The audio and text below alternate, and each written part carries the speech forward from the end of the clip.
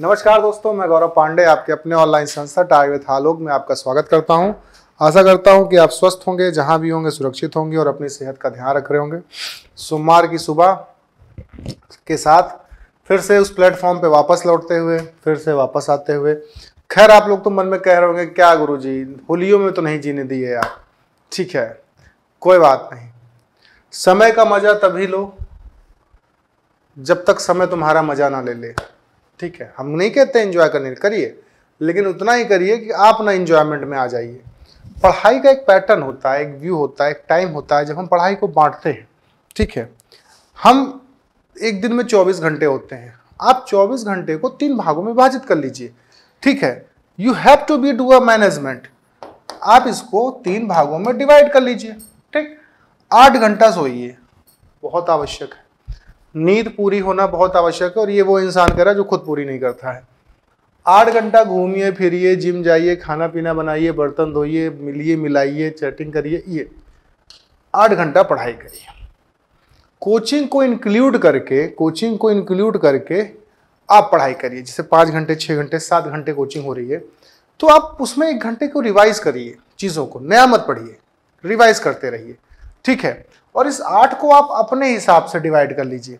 अभी भी, याद रखिएगा, मैंने प्रॉमिस किया था, लेकिन मैं लास्ट क्लास में नहीं बता पाया। प्रॉमिस ये किया था, देखिए, हमेशा लिखने वाला जो काम है, लिखने वाला काम, ये रात के खाने के बाद करिए। रात के खाने के बाद, ठीक? और पढ़ने वाला जो काम है, वो रात के खाने के पहले क्योंकि रात में खाने के बाद जब आप पढ़ने बैठते हैं तो आपका दिमाग एक सेचुरेटेड मोड में रेस्ट मोड में चला जाता है। और फिर क्या होता है कि आपको नींद आती है। पर जब हमारा अंग, देखिए, अगर रात में हमें चैट करना है, ठीक, जैसे आप लोग करते होंगे, सुबह का चार बज जाता होगा, नींद नहीं आती। पर वहीं पढ़ने बैठिए तो नींद आती है।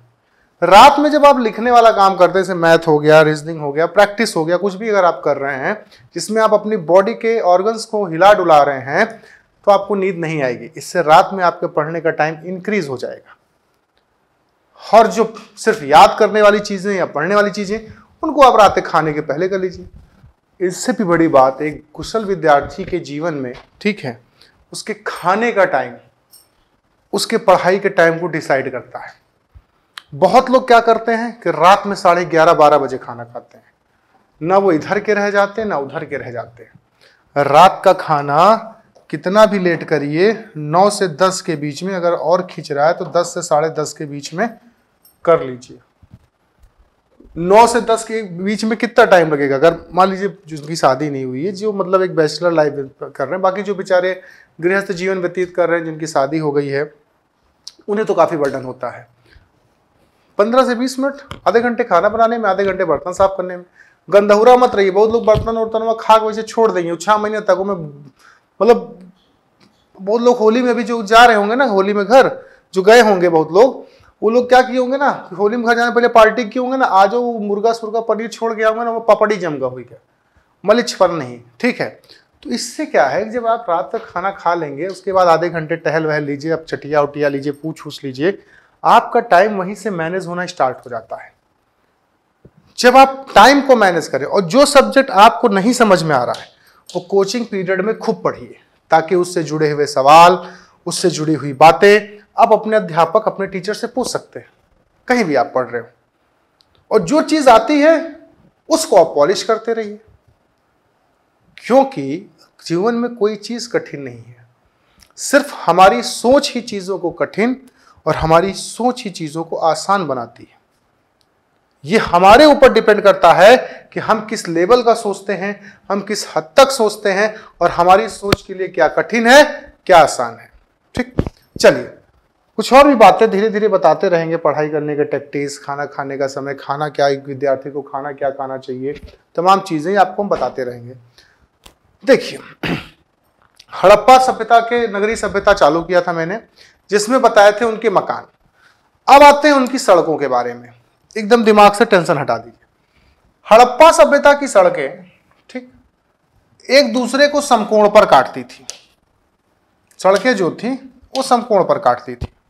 और सड़कें जो थी, वो कच्ची ईंटों की बनी होती थी। किसकी बनी होती थी? कच्ची ईंटों की। भाई, इसमें कोई नई बात नहीं है। जो भी चौराहा होता है, जितने भी चौराहा होते हैं, वो एक दूसरे को 90 डिग्री कोण पर ही काटते हैं। चौराहा कभी 120 डिग्री पर या 60 डिग्री पर या 360 डिग्री पर नहीं काटता। हाँ बरहते हमारे इलाहाबाद में पंचराहा भी है। यहाँ मजार चौराहा या पंच है, पाँच राह है। हाई से घच घुच घच, वहाँ सबसे ज़्यादा एक्सीडेंट होता है। तो हड़प्पा सभ्यता की सड़कें एक दूसरे को समकोण पर काटती थी, जो कि कच्ची ईंटों की बनी होती थी। हड़प्पा सभ्यता के जो मकान हैं, वो सड़क के किनारे बने होते थे। और मकान जो थे, वो पक्की ईंटों के बने होते थे। समझते जाइएगा। मकान जो थे, वो पक्की ईंटों के थे। भाई, इसमें क्या नई बात आपने बता दी?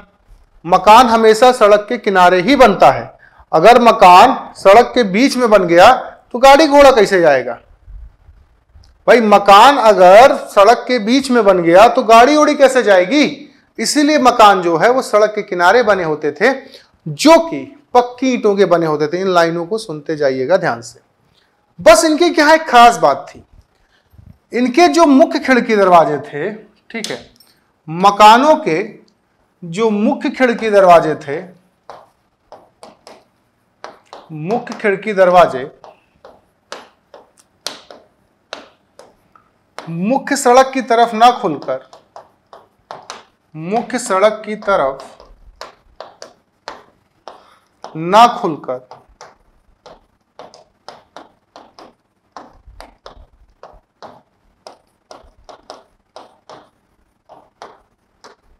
गली की तरफ़ खुलते थे। ठीक? अब मकानों के मुख्य खिड़की दरवाजे मुख्य सड़क की तरफ़ ना खुलकर गली की तरफ़ खुलते थे, ऐसा क्यों होता था? ऐसा इसलिए होता था, अब आप लोग कहेंगे कि सर, चोरी से बचने के लिए, ठीक है, सर, तमाम चीज़ें आपके दिमाग में चल रही होंगी और बहुत लोगों के दिमाग में सटीक आंसर भी चल रहा होगा। सड़कें किस ईंटों की हैं? कच्ची ईंटों की। सड़क पर धूल धक्कड़ होगा कि नहीं? बचपन में गाँव धूल उड़ाए है, धूल उड़ाए हैं। जब बचपन में गाँव हम लोग चलते थे, और खूब धूल रहता था, खूब उड़ाते थे, खूब। ऐसे करके। हम्म? या तो जिसके आज के शहरों में देख लीजिए मकान के मुख्य खिड़की दरवाजे मुख्य सड़क की तरफ़ रहते हैं दिन भर में दस बार झाड़ू लगा हुआ माटी घुस जाते क्योंकि सड़क पे जब वाहन चलता है लोग चलते हैं तो प्रदूषण होता है। और यहाँ पर जो रोड है वो ऑलरेडी कच्ची ईंट की बनी हुई है। यहाँ तो आरसीसी होने के बाद भी गंदगी हो जाती है। यहाँ तो ऑलरेडी कच्ची ईंट की है। तो घर को प्रदूषण मुक्त रखने के लिए अब इस सेंटेंस को कंप्लीट कर सकते हैं।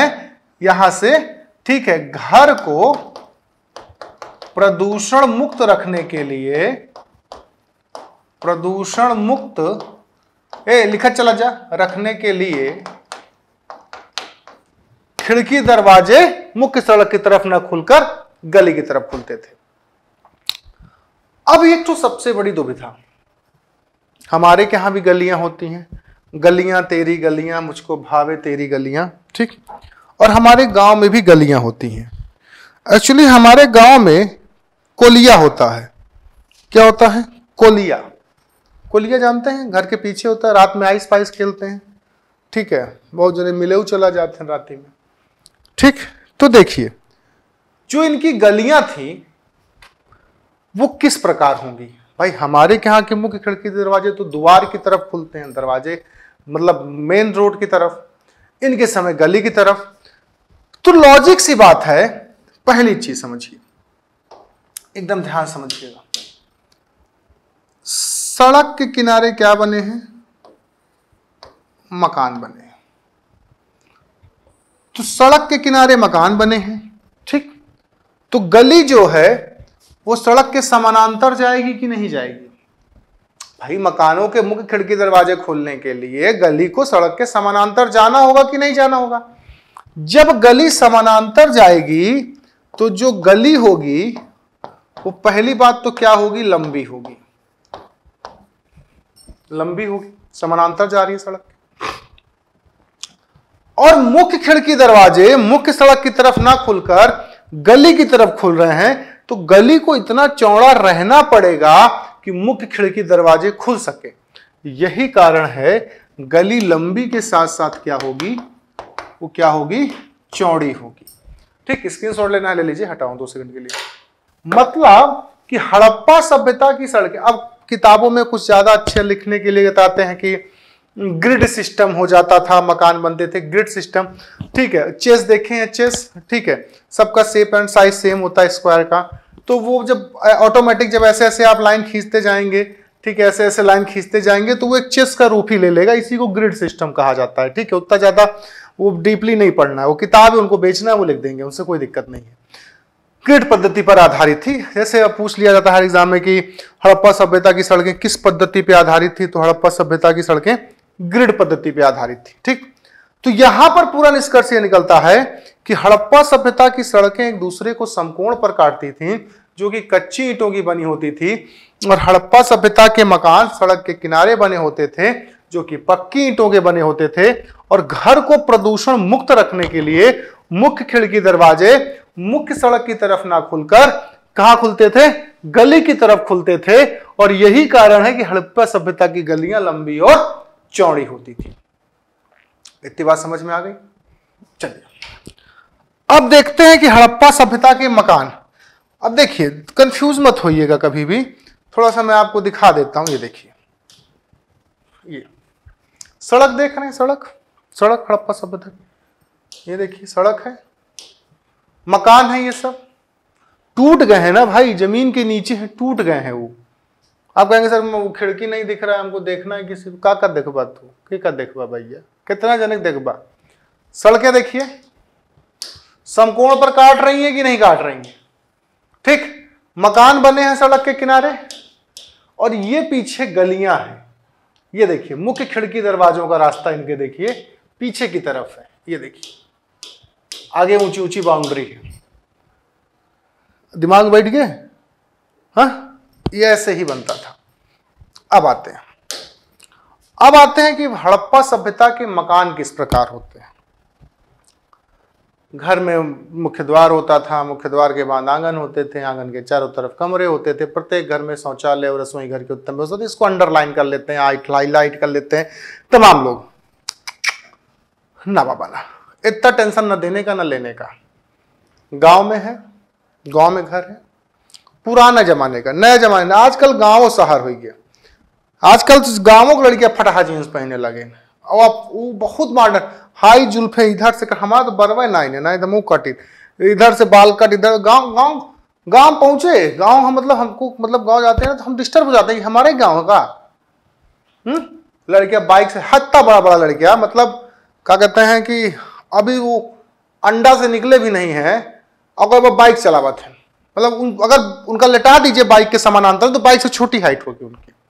बाइक लेग फुर फुर उड़ते रहते हैं। गाँव में जो पुराने घर होते थे उसमें कैसे बनते थे? बस उन्हीं को ध्यान रखिएगा। अगर आपका है तो बहुत अच्छा। नहीं है तो किसी किसी दूसरे घर में चले जाइएगा। ठीक है वैसे भी मन करता है। और जो कभी गाँव जिस जिसका गाँव नहीं है जो कभी गाँव में रहे नहीं है कुछ कहूँगा नहीं उन्होंने अपने जीवन के उस अमूल खुशी को छोड़ दी। अमूल दूध नहीं, अमूल बटर। उन्होंने अमूल्य कह रहा हूँ, ठीक है? उन्होंने अपने जीवन के उस पल को गंवा दिया, जो पल बहुत नसीब वालों को मिलता है। गाँव का जो मज़ा होता है, भैंस पे बैठ के गढ़ई में नहाने का, दूसरे बगिए माम तोड़े के, दूसरे घर में नून रोटी, चाय खाए के, लाई भुजवाई के दूसरे खियस, पुदीना लेक पिसवाए खाना। आइस पाइस खेलना गुच्चौवल खेलना क्रिकेट खेलना वो मज़ा गाँव का है। शहर में Oh mom, yeah bro come on let's play something online, Counter Strike and PUBG bro. यहाँ क्रिकेट भी अंग्रेज़ी में खेलते हैं यहाँ पे। क्रिकेट भी अंग्रेज़ी में। हम लोग क्या कहा जब हम लोग खेलते कौन? हमारा बैटिंग ना आई हमारा बल्ला थे हम ना खेला हम जाते ही। कमॉन पॉन्टिंगवा कमॉन ब्रेटलीवा गेदा फेंक गेदा फेंक ब्रेटलीवा। वो मज़ा यहाँ नहीं मिलता है। गाँव में जो घर होते हैं, यहाँ पर एक मुख्य द्वार होता है। क्योंकि आज की डेट में इंसान पैसे दिखावे और इन तमाम चीज़ों के पीछे मर कर कुछ ले नहीं जाएगा। ठीक है, क्या लेकर आया था, क्या लेकर जाएगा, जो तेरा ज्ञान और संबंध और सम्मान है, वही तू बचा के चला जाए यही बहुत बड़ी बात है। तो घर में मुख्य द्वार होता था, गाँव में जो मुख्य द्वार होता था, जिसको हम केवाड़ कहते थे। केवाड़ लकड़ी का बड़ा बड़ा होता था। पीछे से फट्ठा घुसाया जाता था। केवाड़ जब हम पार करते थे तो किनारे किनारे दो कोठरी होगी, जिसमें आलू, लहसुन, गेहूँ, चाउर, ये सब रखा जाता था। फिर ऐसे चौखटा होगा। पार करेंगे तो यहीं पे नल होता था, नल। सरकारी वाला नल नहीं, एक तो लोहे का नल आता था पहले। बड़ा सा। अरे जो सनी देवल गदर पिक्चरिया में उखाड़ा था, याद होगा? गदर में। इन नल की खास बात क्या थी कि इसको चलाते वक्त ऐसे ऐसे ऐसे ऐसे। मतलब जो आजकल लोग जिम में मारते हैं ना या, या, एक महीना चला लीजिए bicep tricep bats fats thigh सब बन जाता था ऐसा नल होता था। तो यहाँ पर नल होगा ठीक? यहाँ समझिए। लेकिन हड़प्पा सभ्यता में नल नहीं थे। नल नहीं थे। नल के स्थान पर मकानों में कुआँ होता था। क्या होता था? कुआँ। उसके बाद बरामदा होता था और प्रत्येक सॉरी आँगन होता था। आँगन के चारों तरफ़ कमरे होते थे। पूर्वी दिशा में रसोई घर होता है, ठीक है, और पश्चिमी दिशा में शौचालय होता था। हमारे यहाँ शौचालय खेत में होता था। इनके यहाँ अभी मतलब जब से मोदी जी आए तो कहे, जहाँ सोच है, वहाँ शौचालय है तो शौचालय बनने लगा। नहीं तो खेत में जाते थे, माटी उटी से पहले पाट लेते थे पैर से कि घास होस नहीं निकला है, तब वो हमारा शौचालय था। लेकिन हड़प्पा वाले इतने विकसित थे, इतने विकसित थे कि ये शौचालय उस समय भी घर में बना के रखते थे। तो मतलब हड़प्पा सभ्यता के मकानों में मुख्य द्वार के बाद आँगन होता था, आँगन में कुएँ होते थे, ठीक है। जैसे सर्वाधिक संख्या में जो कुएँ मकानों में पाए गए हैं, वो चनुदड़ों में पाए गए हैं और सर्वाधिक संख्या में कुआँ जो मिला है, वो मोहनजोदड़ो से मिला मतलब चनुदड़ों के प्रत्येक मकानों में कुएँ मिले हैं, लेकिन सर्वाधिक संख्या में जो कुआँ पाया गया है, वो मोहनजोदड़ो में पाया गया है। बताएँगे भी आगे लिखाएँगे। कुआँ होता था, आँगन होता था, आँगन के चारों तरफ़ कमरे होते थे और प्रत्येक घर में शौचालय, रसोई घर की उत्तम व्यवस्था होती थी।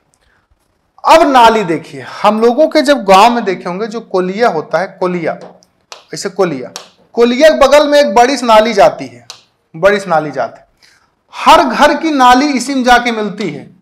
बच्चे लाल गए छट्टे लाल गए गौरव पाड़े गए ठीक है, पंकज लाला गए सतीश पाड़े गए उसी नलिया में जाकर सभी की नाली मिलती थी। और नाली इसे जाए गढ़ही में गिरत रही। फाच फाच। ठीक, तब भी उस गढ़ही में नहाने से बीमारी नहीं होती थी। यहाँ आजकल लोग आर का पानी पीते हैं, गाँव में आज भी चापाकल का पानी पिया जाता है हम तो आज इनारक पानी पीते, बहुत ठंडा लागत भाई। इनारा मतलब कुआ। तो ऐसे ही क्या था? और जो ये नाली होती है, इसको हम लोग ईंटे से ढक देते हैं, ठीक है? या सीमेंट मोटे मोटे सीमेंट से ढक देते थे, ठीक? तो इसी प्रकार हड़प्पा सभ्यता की भी जो थी, एक मुख्य नाली होती थी। तो ये मुख्य नाली हो गई। क्या हो गई? ये मुख्य नाली हो गई। और हड़प्पा सभ्यता के प्रत्येक मकानों की नालियाँ मुख्य नाली से मिली होती थी। और ये शहर के बाहर फ़र्क इतना था क्योंकि ये जल प्रबंधन जानते थे, जल का रिस्पेक्ट करते थे। तो ये शहर के बाहर एक बहुत बड़े गड्ढे में एकत्रित होती थी, जहाँ पर सुखता नुमक पदार्थ होता था ताकि वो जल को सोख ले। बचपन में जब हम लोग स्याही कलम से निकले लिखते थे तो सुखता लिए रहते थे ना, सुखता। ठीक है, थर्मा, थर्माकोल नहीं बोलते उसको, सोखता हम बोलते हैं। जैसे स्याही गिरे ऐसे दबा दें पच्चीस सोख ले तो सुखता नुमक पदार्थ था। यही कारण है कि हड़प्पा सभ्यता जो है, वो अपने नगरीय सभ्यता से ज़्यादा जल निकासन प्रणाली के लिए प्रसिद्ध है। याद रखिएगा ये बात को, हड़प्पा सभ्यता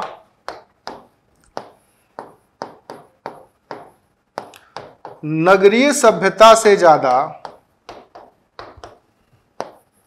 नगरीय सभ्यता से ज़्यादा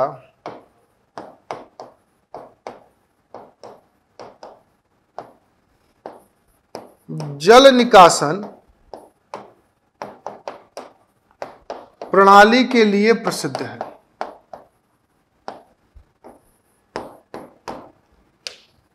ठीक?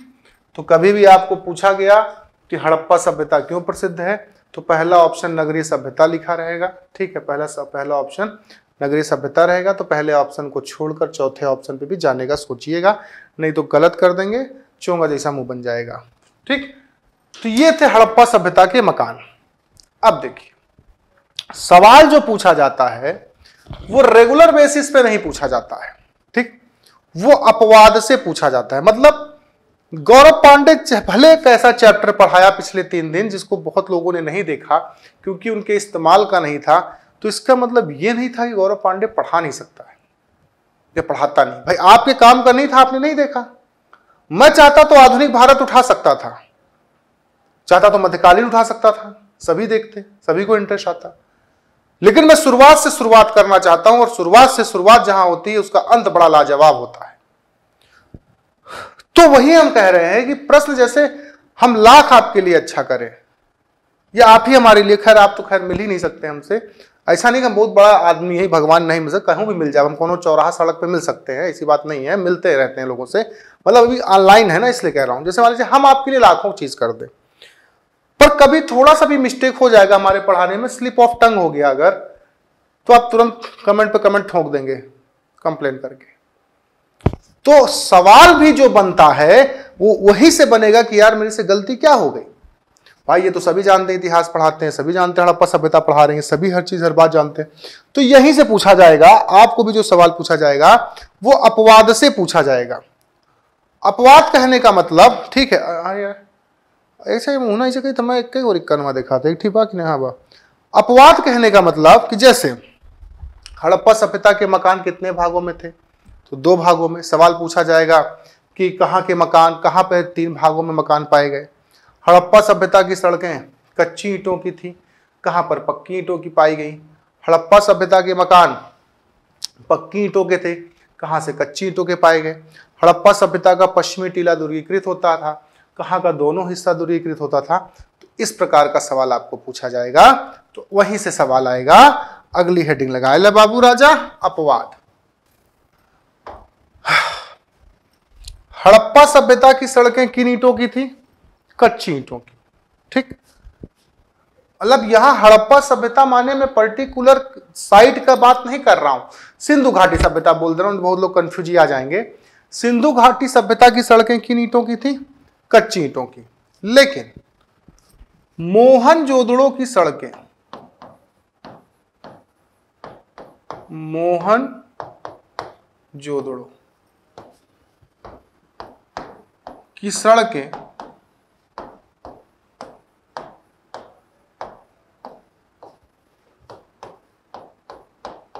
पक्की ईंटों की थी।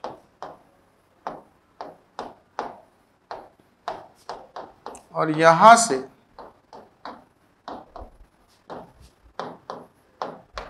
राजमार्ग, सबसे लंबी, सबसे चौड़ी सड़क, याद रखिएगा, सबसे चौड़ी सड़क जो है, वो कहाँ से पाई गई है? मोहन जोदड़ो से, जिसे राजमार्ग की संज्ञा दी है, दी गई है। यहाँ से राजमार्ग पाया गया है।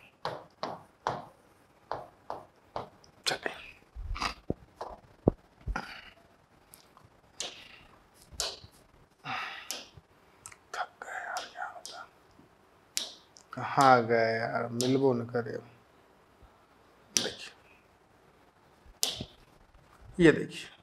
सबसे चौड़ी सड़क मोहन जोदड़ो से मिली है, जिसको राजमार्ग की संज्ञा दी गई है। किसकी दी गई है? राजमार्ग की संज्ञा। क्लियर? आओ। कहाँ के मकान? हड़प्पा सभ्यता के मकान या सिंधु घाटी सभ्यता के मकान किस ईटों के थे? बिल्कुल सही। पक्की ईंटों के।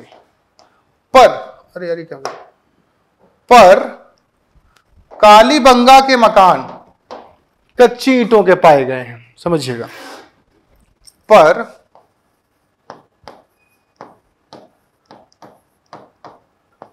कालीबंगा के मकान, एक चीज़ और आपसे पूछना चाहता हूँ, अगर आपको मेरे साथ नोट्स बनाने में समस्या होती है या आपको बोरिंग लगता है, आप नहीं चाहते नोट्स बनाना। तो हमें आप बता सकते हैं, हम थ्योरी भी समझा के निकल सकते हैं। हमारा उससे ज़्यादा समय बचेगा और हम ज़्यादा पोर्शन कंप्लीट कर ले जाएँगे। ठीक है मतलब ज़्यादा पोर्शन कम समय में कंप्लीट कर ले जाएँगे। बता दीजिएगा। कालीबंगा के मकान।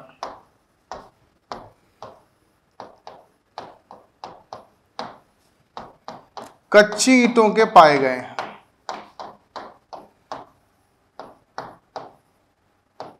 इसके साथ साथ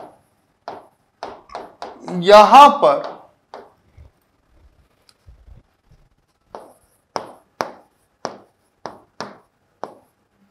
अलंकृत ईंटों के मकान मिले हैं।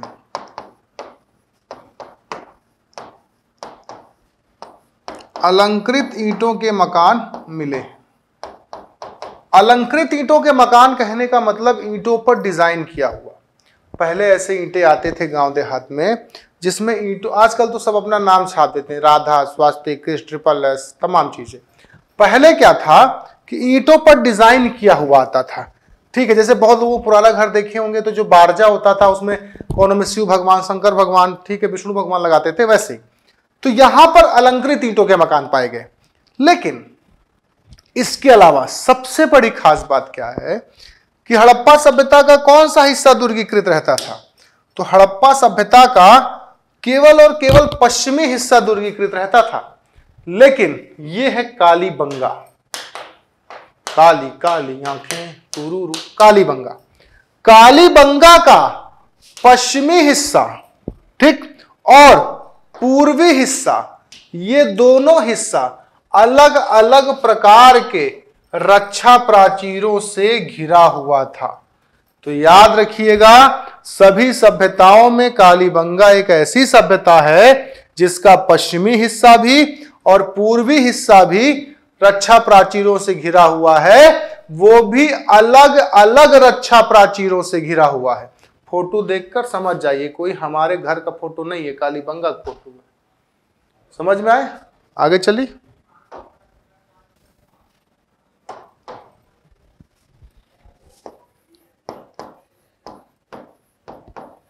कालीबंगा का।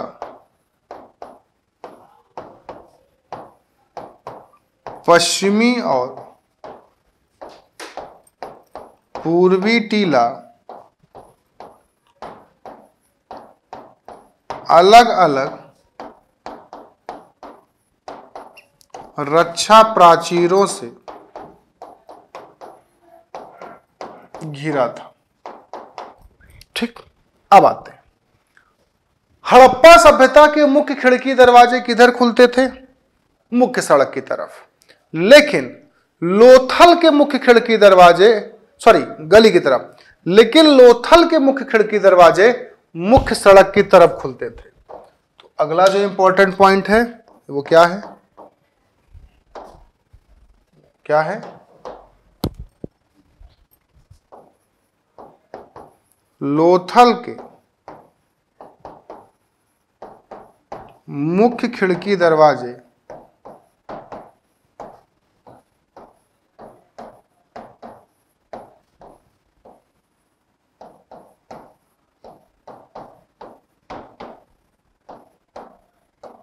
मुख्य सड़क की तरफ़ खुलते थे। एक चीज़ और, कुछ किताबें कहती हैं कि लोथल का कोई भी हिस्सा दुर्गीकृत नहीं था। ये एकदम पूर्ण रूप से गलत है। मैं आपको दिखा देता हूँ, लोथलो। लोथलो दिखाई देते हैं थोड़े से, कहा गया? हमें लोथल वाला इमेज कहाँ गया भाई? नहीं है भाई सॉरी लोथल का जो है, लोथल का, ठीक है, लोथल का दोनों हिस्सा एक ही रक्षा प्राचीर से घिरा हुआ था। उसका रीजन क्या था कि लोथल एक बंदरगाह था। ठीक आगे पढ़ाएँगे। लोथल एक बंदरगाह था तो उसको सुरक्षित रखना ही पड़ेगा। नहीं तो ना वो दूसरे देश के आ रही है ऐसे चोर अमेरिकिया के उठा लेंगे तो? तो यही कारण है कि लोथल का दोनों हिस्सा क्या था? एक ही में था अलग अलग नहीं था, और वो एक ही रक्षा प्राचीर से घिरा हुआ था। अगर ये पूछा गया कि कहाँ का हिस्सा दुर्गीकृत नहीं था तो याद रखिएगा कि चन्हू दड़ों का। हटो यार, तुम तो डिस्टर्ब कर तो याद रखिएगा कि चन्हू दड़ों का, चन्हू दड़ों का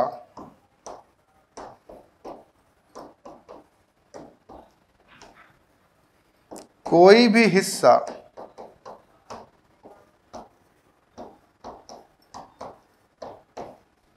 दुर्गीकृत नहीं था। और यहाँ पर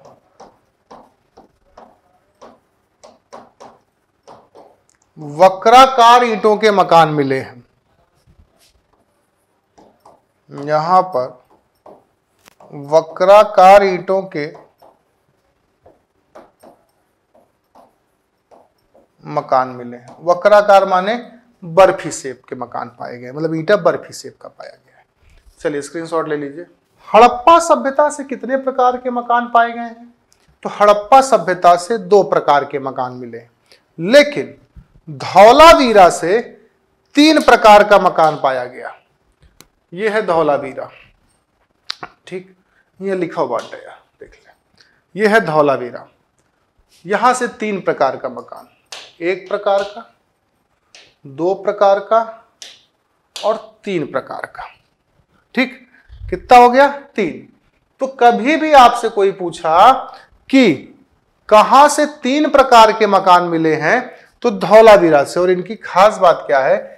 इनके पास जल संरक्षण प्रणाली का भी विकास था। ये साक्ष्य में बताऊँगा आप वाटर हार्वेस्टिंग करना ये अच्छे से जानते थे। तो धौलावीरा से तीन प्रकार के मकान के साक्ष्य मिले हैं। याद रखिएगा। ठीक है, अगले पेज पे चलते हैं।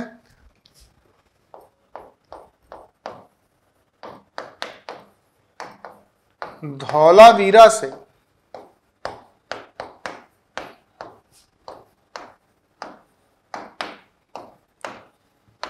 तीन प्रकार के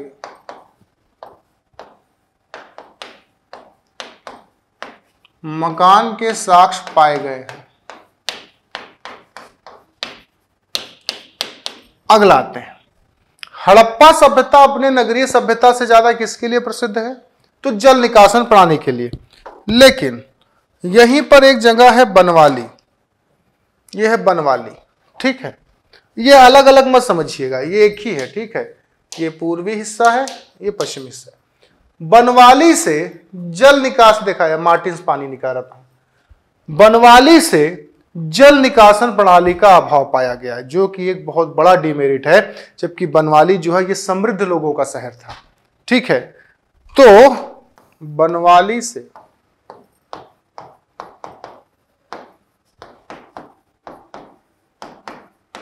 जल निकासन प्रणाली का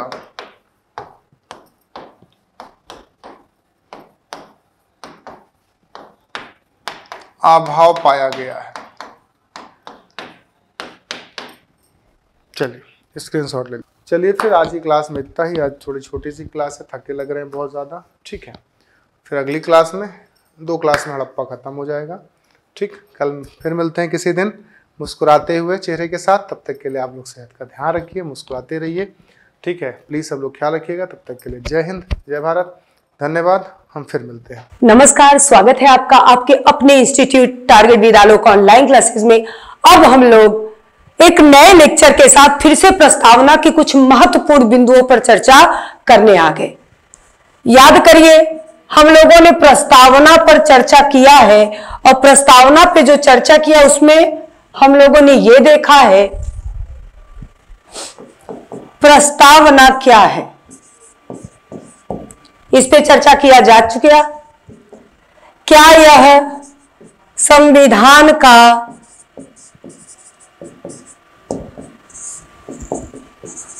भाग है अथवा नहीं है? इस पर एक केस हमने देखा था, केशवानंद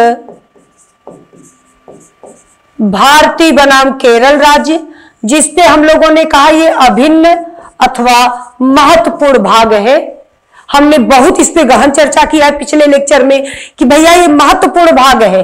भाग है तो इसमें संशोधन भी किया जा सकता है। याद आया? फिर हम लोगों ने पढ़ा कि अगर संशोधन किया जा सकता है तो किन किन तत्वों को नहीं छुआ जाएगा? और पिछले लेक्चर पे आधारभूत ढांचे के सिद्धांत को हम लोगों ने देखा। बहुत ही गहन अध्ययन हम लोग इस बिंदु पर कर चुके हैं। अब अगर बात करें कि प्रस्तावना के कुछ महत्वपूर्ण शब्द हैं, जिन्हें हम भारत के लोगों ने सजा के रखा था, अपने भारत के संविधान के लिए और सोचा था एक बहुत ही अनोखा, विकसित और परिवर्तनशील संविधान देंगे तो उसमें हम भारत के लोग शब्द की हम लोगों ने व्याख्या देखी। फिर हम भारत के लोग भारत को कैसा देखना चाह रहे हैं? हमने ये देखा, संपूर्ण प्रभुत्व संपन्न पढ़ लिया। आपको याद होगा। फिर हमने पढ़ा, समाजवादी पंथ निरपेक्ष तथा लोकतंत्र, डेमोक्रेट तक हम लोगों ने पढ़ लिया था। पिछले लेक्चर में हम लोगों ने डेमोक्रेट तक पढ़ लिया था और डेमोक्रेट तक पढ़ने के बाद अब हम लोग कहा आए हैं? अब हम लोग आ गए, याद करिए प्रियम्बल हम भारत के लोग, भारत को एक संपूर्ण प्रभुत्व संपन्न, समाजवादी पंथ निरपेक्ष, लोकतंत्रात्मक, गणराज्य बनाने के लिए, अर्थात हम कहा आ गए? गणराज्य में आ गए।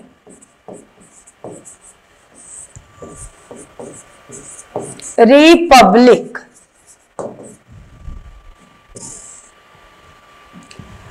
रिपब्लिक ये कहता है कि भैया गणराज्य क्या होगा? कहा गया, गणराज्य अथवा गणतंत्र उस राज्य को कहते हैं जहाँ पे राष्ट्राध्यक्ष निर्वाचित होने के लिए आप में योग्यता होनी चाहिए। कैसी योग्यता होनी चाहिए? आप आनुवांशिक या मनोनीत नहीं हो सकते। क्योंकि गणराज्य की इंग्लिश है रिपब्लिक री और पब्लिक शब्द इंगित करता है। री मतलब बार बार पब्लिक मतलब जनता, यानी जनता द्वारा बार बार दोहराया जाना, अर्थात भारत में राष्ट्राध्यक्ष निर्वाचित होता है। गणराज्य क्या कहता है? गणराज्य में जो गणराज्य का राष्ट्राध्यक्ष होगा, वो निर्वाचित होगा। ना कि मनोनीत। अर्थात क्या होगा? निर्वाचित होगा, मनोनीत नहीं होगा।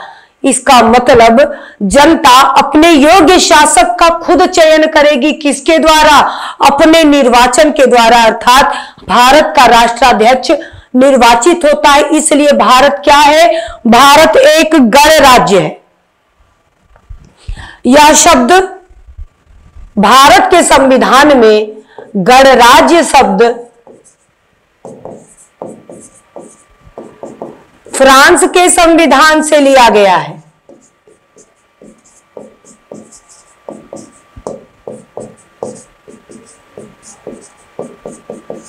कहाँ से लिया गया है?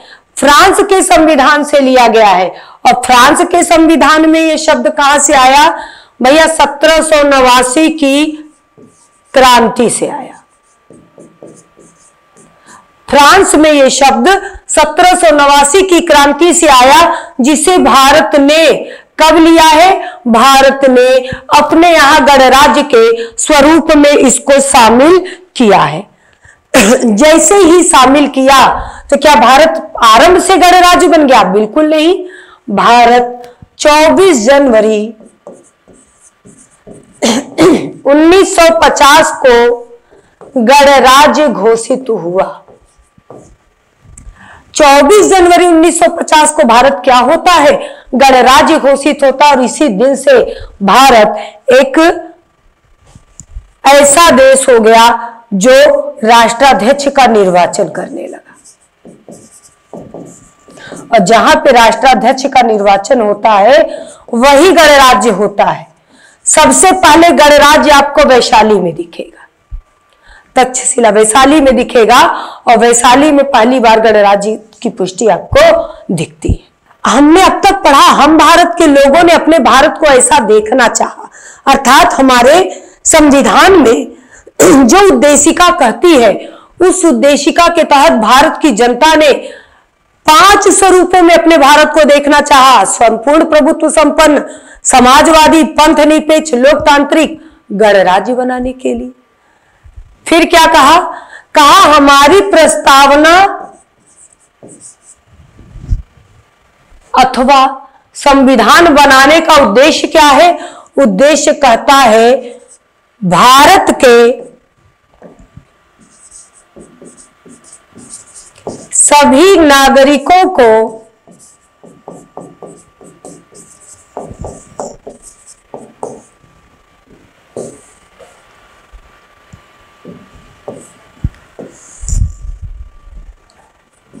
न्याय दिलाना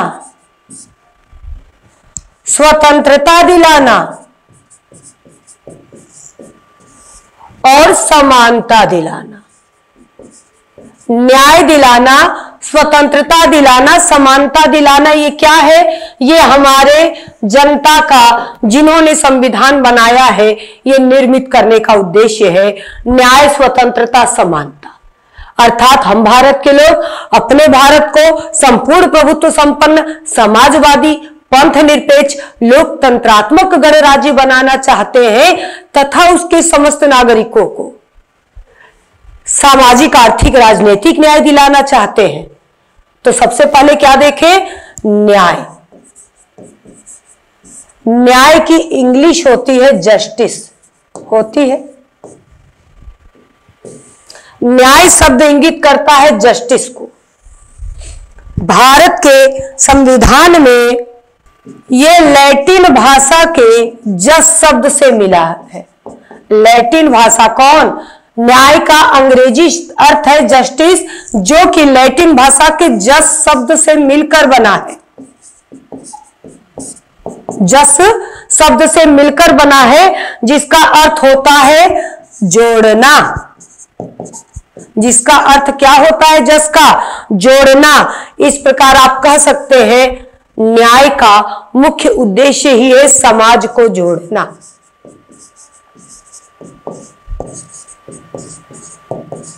समाज को जोड़ना।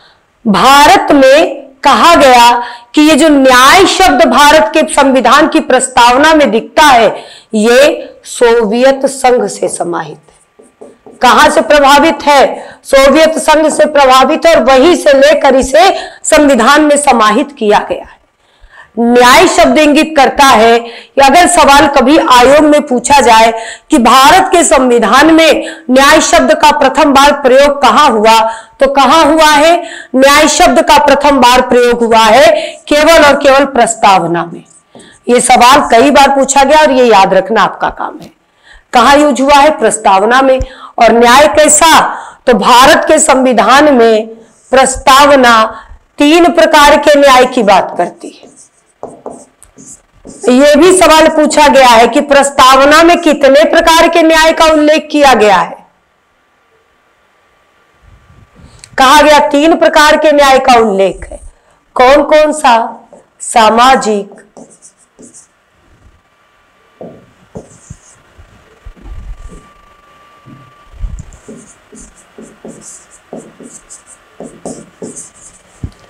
आर्थिक। राजनीतिक न्याय। सामाजिक, आर्थिक और राजनीतिक न्याय की बात की गई है। देखिए, सामाजिक न्याय क्या कहता है? कहता है, भैया, किसी भी व्यक्ति के साथ धर्म, मूल, वंश, जाति, लिंग, जन्म, स्थान, भाषा, इनके आधार पर कोई भेदभाव ना करिए। ये कौन बताता है? ये भाग तीन बताता है। किसके रूप में बताता है? फंडामेंटल राइट्स के रूप में बताता है, अर्थात मौलिक अधिकार के रूप में बताता है। कहा गया, किसी भी व्यक्ति के साथ भाषा, जाति, धर्म, लिंग, इनके आधार पे कोई भेदभाव मत करिए। सामाजिक न्याय यही है कि सबको एक समान माना जाए, सभी वर्ग को एक समान देखा जाए, अर्थात समाज में ऊंच नीच भेदभाव, अस्पृश्यता, इन सबको समाप्त किया जाए। सामाजिक न्याय पर सर्वाधिक प्रभाव किसका दिखता है? तो कहा जाता है, सामाजिक न्याय पर सर्वाधिक प्रभाव डॉक्टर बी आर अंबेडकर का दिखता है। किसका दिखता है? डॉक्टर भीमराव अंबेडकर का दिखता है। आर्थिक न्याय क्या कहता है? आर्थिक न्याय कहता है कि संसाधन का वितरण कैसा हो, एक समान हो। सभी को उस प्रकार संसाधन मुहैया हो कि उनकी दैनिक आवश्यकता पूर्ति हो जाए। यहाँ भी भेदभाव करके गरीबी, अमीरी, उच्च वर्ग, निम्न वर्ग में बांटकर आर्थिक न्याय न किया जाए। इसकी पुष्टि कहाँ दिखेगी? इसकी पुष्टि आपको भाग चार में दिखेगी। राज्य के नीति निदेशक तत्व में दिखेगी, अनुच्छेद 36 से इक्यावन तक में दिखेगी। अर्थात सबकी न्यूनतम आवश्यकता पूरी हो जाए। संसाधन का वितरण सर्व समान में इस प्रकार कर दीजिए, सबकी दैनिक आवश्यकता और न्यूनतम आवश्यकता पूरी हो जाए। मान लिया जाएगा कि इनके साथ आर्थिक न्याय हो गया। यह एकमात्र न्याय शब्द का प्रयोग जो प्रस्तावना में है, इसको अगर आप अन्य उपबंध में देखना चाहें भाग चार राज्य के नीति निदेशक तत्व में देख सकते हैं। इस पर पंडित जवाहरलाल नेहरू जी का सर्वाधिक प्रभाव दिखेगा। नेहरू जी का सर्वाधिक प्रभाव दिखेगा। अब राजनीतिक न्याय की बात कर लीजिए। राजनीतिक न्याय क्या कहती है? ये भी भाग तीन को द्योतक मानती है। अनुच्छेद 19, 325 और 326 भाग तीन केवल अनुच्छेद 19 और बाकी ये उस भाग में नहीं है लेकिन इस बात का द्योतक है क्या कहती है? राजनीतिक न्याय कहता है कि किसी भी व्यक्ति को किसी भी पद पर चुनाव लड़ने का अधिकार।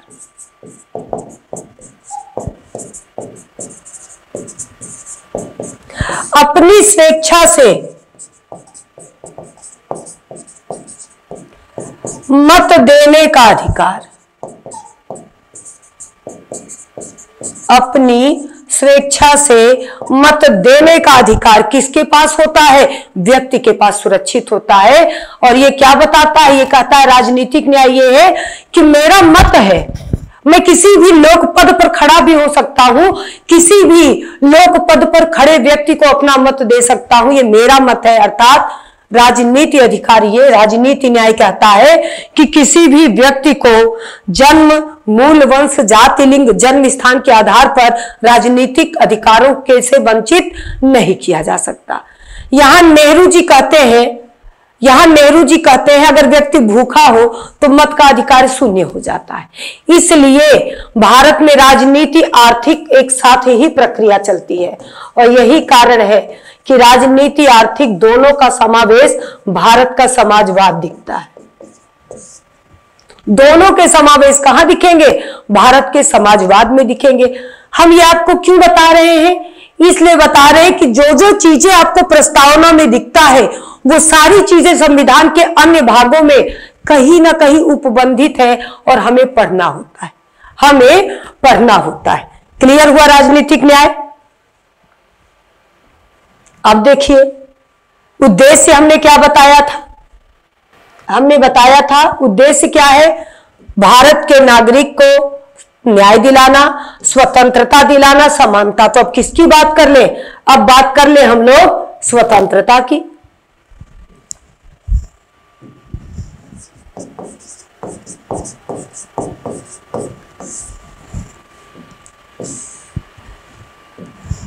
भारतीय संविधान में, प्रस्तावना में जो ये शब्द शामिल है स्वतंत्रता, ये फ्रांस के संविधान से प्रेरित है।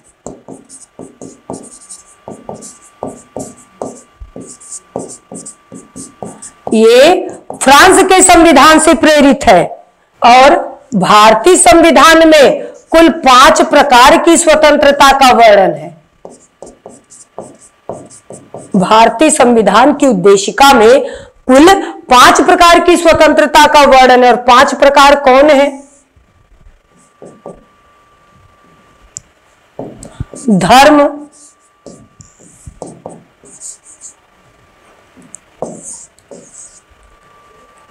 विचार अभिव्यक्ति विश्वास धर्म और उपासना। भारतीय संविधान की प्रस्तावना में जो स्वतंत्रता है, वो मूलतः फ्रांस के आदर्श संविधान से लिया गया है। कहता है कि प्रत्येक नागरिकों को स्वतंत्रता का अधिकार है और कितने प्रकार की स्वतंत्रता देता है?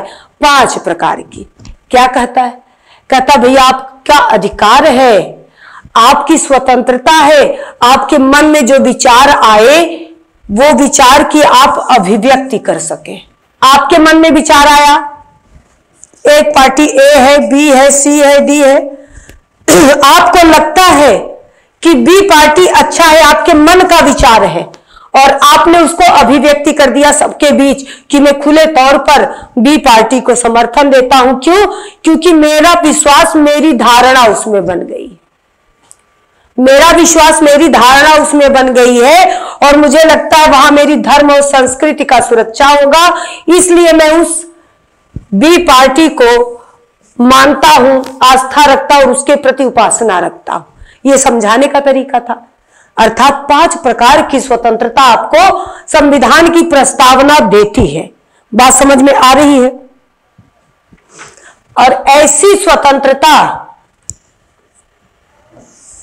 ऐसी स्वतंत्रता अंग्रेज़ी के लिबरल शब्द से बना है, जो कि लैटिन भाषा के लिबर का रूपांतरण है। लिबर का मतलब होता है प्रतिबंधों का अभाव। भारतीय संविधान की प्रस्तावना स्वतंत्रता की बात करता है, फ्रीडम की नहीं, लिबर्टी की बात करता है। फ्रीडम मतलब कहीं से कोई प्रतिबंध हो ही ना हो। मैं इतना स्वतंत्र हूँ कि मेरी स्वतंत्रता से अगर आपकी स्वतंत्रता बाधित होती है तो मेरे ऊपर कोई अंकुश नहीं है। मैं निरंकुश हूँ, मैं कुछ भी कर सकता हूँ। संविधान ने कहा, ऐसा नहीं हो सकता। मैं आपको पाँच प्रकार की स्वतंत्रता देता हूँ, लेकिन मैं कहता हूँ, प्रतिबंधों का अभाव का मतलब प्रतिबंध होगा ज़रूर। बहुत न्यून होगा। आप सब करिए, आप खुशी मनाइए, गाना गाइए, डीजे बजाइए, सब। लेकिन अगर आपके ऐसा कार्य करने से आपके सामने वाले को परेशानी हो रही है, तब आप पे थोड़ा सा अंकुश लगेगा कि भैया वही कार्य करिए थोड़ा सा धीरे करिए, सामने वाले को दिक्कत ना हो। क्यों? क्योंकि स्वतंत्रता का अधिकार उसके भी पास है। बात समझ में आई? ये किससे बना है? ये लीबर शब्द से बना है। और ये जितनी चीज़ें हमने अभी पढ़ा है, विचार अभिव्यक्ति, आप भी जानते हैं, विचार अभिव्यक्ति ये अनुच्छेद 19 में समाहित है। अनुच्छेद 19 में समाहित है। विश्वास, धर्म और उपासना भाग तीन के अनुच्छेद 25 से 28 तक में समाहित है। तो आपको लगता नहीं कि भारतीय संविधान की प्रस्तावना में जिन शब्दों का उल्लेख किया गया है, उसकी व्याख्या कहीं ना कहीं अन्य उपबंधों में दिखने को मिलती है? तो ये क्या था? ये आपका स्वतंत्रता है। अब देखिए एक और शब्द था, आपको याद होगा? समानता। इक्वलिटी समानता। क्या कहा गया? कहा गया, व्यक्ति मानव है। और मानव होने के नाते प्रत्येक विश्व का व्यक्ति समान है। व्यक्ति मानव है और मानव होने के नाते प्रत्येक व्यक्ति, चाहे विश्व में कहीं भी हो, समान हो, क्यों? कहा गया, जब प्रकृति ने इनमें भेदभाव नहीं किया। प्रकृति द्वारा एक समान बनाया गया तो कोई भी सिद्धांत, कोई भी नियम, कोई भी कानून, कोई भी मानव किसी में भेदभाव नहीं कर सकता। इसलिए क्या करना चाहिए? संविधान ने प्रस्तावना के माध्यम से समानता की बात की और कहा, अनुच्छेद चौदह और सोलह पुष्टि करते हैं। हम थोड़ा थोड़ा आपको अनुच्छेद बता रहे हैं, बाकी जितना पढ़ेंगे, अभी तो हम सबका डिटेल पढ़ाएँगे। ये केवल हम प्रस्तावना के जो जो शब्द है उसकी व्याख्या कर रहे हैं। आप ये ना सोचिए कि अनुच्छेद चौदह नहीं पढ़ाया मैम ने अनुच्छेद सोलह, ये आगे भाग तीन में आएँगे, इसको पढ़ेंगे, लेकिन अभी केवल और केवल प्रस्तावना शब्दों की व्याख्या हो रही है। क्या कहा गया? कहा गया कि भैया, व्यक्ति अथवा मानव विश्व का इसलिए समान है क्योंकि प्रकृति ने किसी के साथ भेदभाव नहीं किया। और सबको समानता का अधिकार है, इसलिए अवसर की समानता सबको मिलना चाहिए। निशुल्क और अनिवार्य शिक्षा सबको एक समान मिले।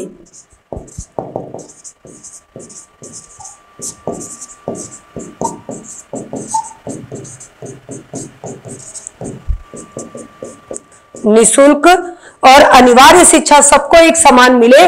जब सबको एक समान मिलेगा, तब क्या होगा? तब प्रत्येक व्यक्ति, अनुच्छेद 16 क्या कहता है? लोक नियोजन में अवसर की समानता। अर्थात आपको हमने शिक्षित कर दिया, आरंभिक शिक्षा देकर उसके बाद आप जब योग्य हो गए तो मैंने कहा कि ठीक है भैया यूपीएससी यूपीपीसीएस यूपीएसआई टीचिंग ये एग्ज़ाम निकला है, जो योग्य है। हमने एक योग्यता निर्धारित कर दी। कि जो बीएड है, वो इसमें अप्लाई कर सकता है। जिसने ग्रेजुएशन किया है, वो इसमें अप्लाई कर सकता है। हमने कहीं जाति धर्म नहीं बांटा, जन्म स्थान नहीं बांटा, हमने कुछ नहीं बांटा। हमने सिर्फ़ इतना कहा, ये मिनिमम ये मिनिमम एलिजिबिलिटी है, जो इसके योग्य है, वो आकर फॉर्म फिल करे। आप सब एक समान फॉर्म फिल करते, जिनमें जो योग्यता होती है, उस योग्यता के दम पर व्यक्ति अपनी गरिमा बना लेता है। व्यक्ति अपनी गरिमा बना लेता है, इसलिए समानता क्या दिखाती है? समानता दिखाती है कि भैया, नागरिकों को जो स्वतंत्रता, समानता, न्याय दिया जा रहा है, क्यों दिया जा रहा है? ताकि व्यक्ति की गरिमा बनी रहे।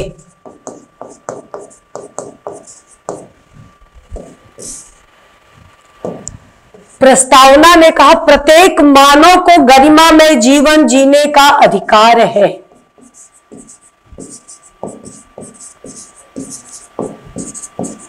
मानव पशु नहीं है।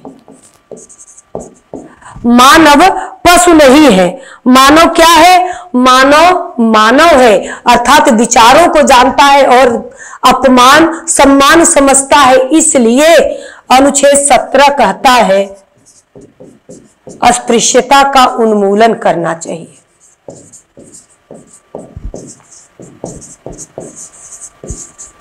अनुच्छेद तेईस कहता है कि आप बेगारी ना कराएँ बंधुआ मजदूरी ना कराएँ, अनैतिक व्यापार ना करें। क्यों? क्योंकि वो मानव है, चाहे स्त्री हो, चाहे पुरुष हो, चाहे दास हो, चाहे गुलाम हो, वो सब मानव और मानव के साथ गरिमा में जीवन जीने का अधिकार होता है वो होना चाहिए। तो क्या किया गया? कहा गया कि आपको हम समानता देते हैं, आपको हम स्वतंत्रता देते हैं, आपको हम न्याय देते हैं, ताकि आप अपने गरिमा को बना सके, गरिमा में जीवन जी सके, और इसको करते हुए आप जब ऐसी प्रतिभा पा जाते हैं, आपको स्वतंत्रता मिली, प्रस्तावना ने दिया, संविधान ने दिया, समानता दिया, न्याय दिया, जब ये दिया तो आपकी गरिमा में वृद्धि हुई। और जब आपकी गरिमा में वृद्धि हुई तो उसने कहा, भैया, भारत की एकता, अखंडता बनी रहनी चाहिए।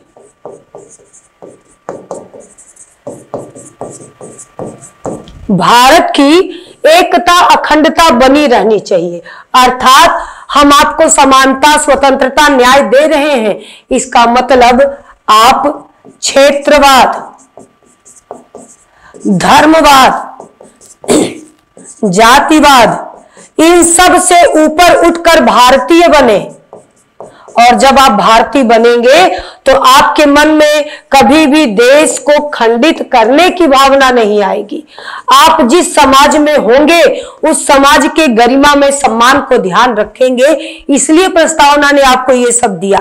अर्थात हम भारत के लोग, भारत को एक संपूर्ण प्रभुत्व संपन्न, समाजवादी पंथ निरपेक्ष, लोकतंत्रात्मक, गणराज्य बनाने के लिए तथा उसके समस्त नागरिकों को सामाजिक, आर्थिक, राजनीतिक न्याय दिलाने के लिए तथा उन सब में व्यक्ति की गरिमा और राष्ट्र की एकता और अखंडता को सुनिश्चित करने वाली बंधुता बढ़ाने के लिए। तो बंधुता तो अपने आप बढ़ जाएगी। जब आप क्षेत्रवाद का नाम नहीं लेंगे बंधुता तो तब ही बढ़ जाती है जब आप हम भारत के लोग कह देते हैं। बंधुता बढ़ाने के लिए फिर क्या शब्द आता है? दृढ़ संकल्पित होकर।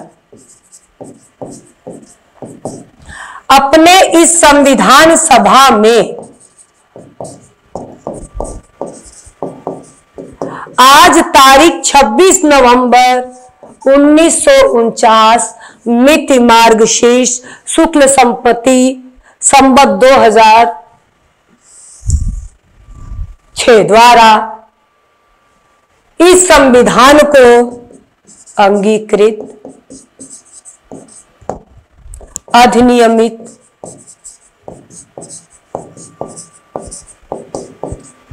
और आत्मर्पित करते हैं।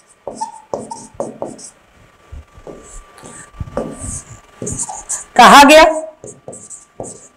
कहा गया कि नहीं? आत्मर्पित करते किसने कहा? भारत की जनता ने कहा। किससे कहा? खुद से कहा। सब संविधान सभा में बैठे अपने लोगों से कहा कि हम लोग क्या करेंगे? 26 नवंबर उन्नीस सौ उनचास ईस्वी को मिति मार्ग शीर्ष शुक्ल सप्तमी को संबत 2000 के माध्यम से क्या कर रहे हैं? इस संविधान सभा में आज अपने संविधान को अंगीकृत, अधिनियमित और आत्मर्पित करते हैं। यही कारण है। कि 26 नवंबर उन्नीस सौ उनचास को विधि दिवस के रूप में घोषित किया गया।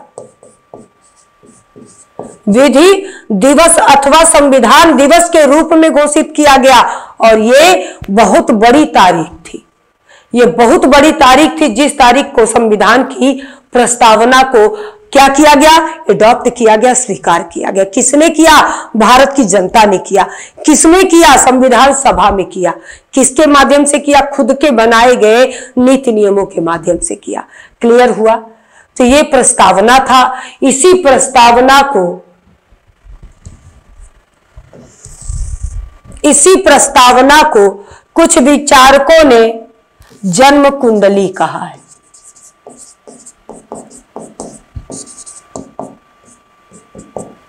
क्या कहा? प्रस्तावना संविधान की जन्म कुंडली है। अब देखिए। अब अगर बात करें, इसका मतलब हमें किसको पढ़ना है? हमें विचारकों को पढ़ना है। हमें विचारकों को पढ़ना है। के एम मुंशी क्या कह रहे हैं? के एम मुंशी कह रहे हैं, प्रस्तावना संविधान की जन्म कुंडली है। प्रस्तावना संविधान की जन्म कुंडली है। क्लियर हुआ? अर्नेस्ट बारकर कह रहे हैं।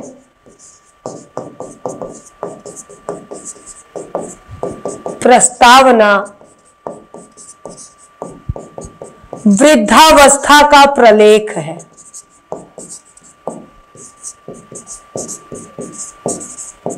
प्रस्तावना वृद्धावस्था का प्रलेख है। डॉक्टर सुभाष कश्यप कह रहे हैं।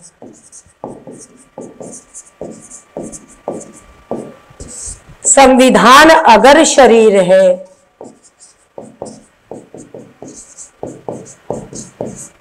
तो प्रस्तावना उसकी आत्मा है।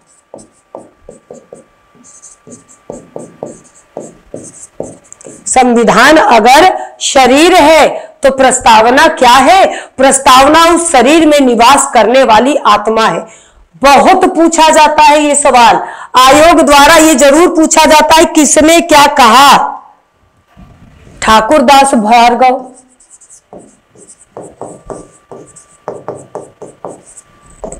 प्रस्तावना संविधान की कुंजी नोट है। प्रस्तावना संविधान की कुंजी नोट है। अब जब भी देखेंगे, आप पाएँगे कि वास्तव में प्रस्तावना इतनी महत्वपूर्ण थी, जिस पर विचारकों ने अपने विचार भी दिए, संविधान निर्माताएँ जो भी थे, वो इस समस्या को जानते थे और लगातार उनमें विवाद हो रहा था कि इसे संविधान का भाग कैसे माना जाए, कैसे बनाया जाए। सब करके इन्होंने देखा, न जाने कितनी बार वाद लाके देखा और फिर भारत के संविधान में, इतिहास में वो स्वर्णिम पल आया जब केशवानंद भारती बनाम केरल राज्य आया। इसने क्या किया? सारे मिथ्या, सारी समस्याओं का निराकरण करते हुए कुछ महत्वपूर्ण निर्णय दिए, जो क्या करता है? जो संविधान पर एक सकारात्मक प्रभाव दिखाता है। किंतु इतना सब होने के बाद में आखिरी में इतना ज़रूर याद दिला दूँ आपको, प्रस्तावना बहुत महत्वपूर्ण है। किंतु न्यायालय में अप्रवर्तनीय है, ये याद रखिएगा। ये ज़रूर आप याद रखिएगा वाद योग्य नहीं है। बात समझ में आई? ये क्या था? ये भारत के संविधान की प्रस्तावना था, जिसको हम लोगों ने सारे चरण को आराम से पढ़ डाला। जिसके सारे चरणों को हम लोगों ने आराम से देखा और एक एक फैक्ट पे हम लोगों ने चर्चा किया। तो अब हम लोग फिर क्या करेंगे? फिर हम लोग एक अलग लेक्चर को अलग टॉपिक को उठाएँगे जो इसका नेक्स्ट चैप्टर होगा। और नेक्स्ट चैप्टर होने के साथ साथ मैं बार बार बता दूँ कि इतने महत्वपूर्ण ढंग से, इतने इंपॉर्टेंट फैक्ट के साथ हम लोग आपके साथ हैं। और यही आशा उम्मीद है कि आप इसको इतनी ही गहनता से अध्ययन करके खुद में समाहित कर रहे होंगे। ये सब, खासतौर से मैं प्रस्तावना की बात करूँ। आयोग का ऐसा कोई एग्ज़ाम नहीं होगा जहाँ आपको प्रस्तावना नहीं दिखेगी।